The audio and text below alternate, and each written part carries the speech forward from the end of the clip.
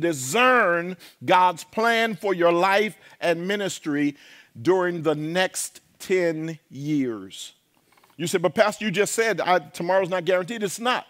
But you want to live as though you got 10 years while realizing you might not have tomorrow. Everybody see that? We got to learn to live in that tension all the time. I'm planning to maximize the decade of the 20s. But if the Lord takes me today or tomorrow, I'm ready to go with Him. You don't have to want to go with Him, just be ready. Isn't that, isn't that something? You don't have to want to go. There's nothing wrong with wanting to stay. God's not mad because you don't want to go to heaven right away. He's not going to get attitude. Huh, you don't want to come. I, I go to prepare a place for you. No, God's not like that. Yes, what he's prepared for us is wonderful. And it's going to be great when we get there. But some of y'all are like me, but I'm not trying to go right now. Got some things I want to do here and now before we graduate to that. And so here's the first thing I want you to do discern God's plan for your life and ministry during the next 10 years.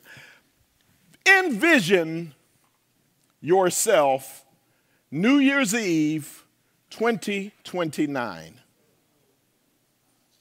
That's what I want you to do. Take a moment and envision yourself December 31st, 2029 will be, if the Lord blesses us to be here, we'll be about to go into a new decade, the 30s. If the Lord blesses us, we will be introduced into another decade just like we were several weeks ago. What do you want to be different then than it is right now? What about you? What's in your heart that you want to be fulfilled? What are the dreams you want to have seen come to pass?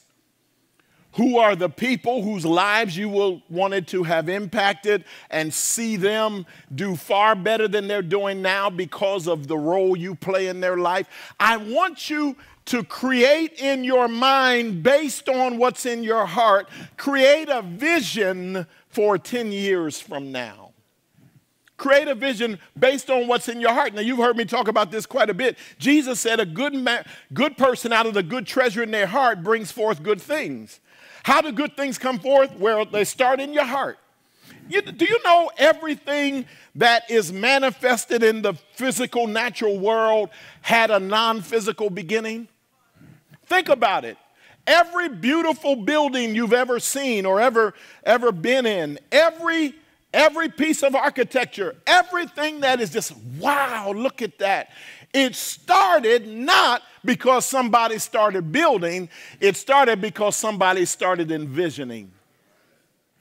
Everything starts in a non physical realm. You got to have faith. What in your life is something you believe God's told you to do? You don't see the resources, it doesn't make sense to you, but it's in your heart and it can't and it's not leaving. You've got to discern God's plan for your life and ministry. And I want you to cast the vision. See what Habakkuk said? There's a vision. Write the vision. It's far out there. It's not, it's not what you can see now. This is vision. We saw ourselves in a building we didn't know what city it was going to be in. We cast a broad net. When we started searching for property to build a worship center, we cast a broad net. We looked on the peninsula, we looked in Santa Clara, we looked in the East Bay. We, I mean, we cast a broad vision. I visited places all over that area, wide range of places. Lord, what are you giving us? And we would look and, oh, we could make this work. And then that door would shut. That city said, no, we're not giving a conditional use permit for a church to come in there. And we'd go, we opened everything, we opened every opportunity. And, you know, people weighing in, if you come over here, it's, it's really nice over here. It's because they live close to it. It's really nice over here. And, you know, we always, I said, I, I told him, I said, we're open to whatever God says. Open to whatever God says. And God opened one door and one door only. We looked everywhere, every door shut except where we are. And so we said, okay. They said, you can lease, they'll let you get a conditional use permit in, in Fremont, in that area. They've already determined that nonprofits can come into this area and what have you. So we came over here and we looked at this. Somebody had envisioned it as an industrial building and had been used that way for years. But God sent us over here looking to make it something it wasn't. We're sitting in something that we had to envision. We had to say, you know what? That's no longer going to be an industrial building. That's going to be a house of worship.